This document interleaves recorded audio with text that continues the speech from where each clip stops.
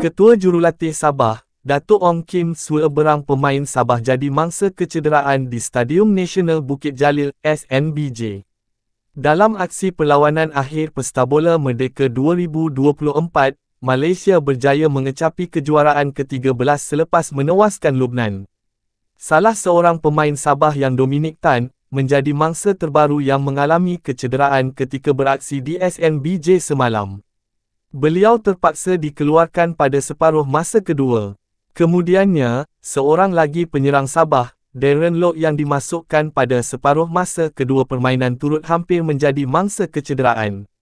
Dalam pada itu, Datuk Ong Kim Sue mahukan jalan penyelesaian mengenai isu padang SNBJ ini. Beliau menganggap sehingga kini masih tiada kesudahan. Tiada cerita berakhir. Malu dan mahu menuding jari lagi pada SNBJ atau alasan, kata Ong Kim Sue dalam laman X membalas ciapan wartawan sukan star, T. Avineshwaran.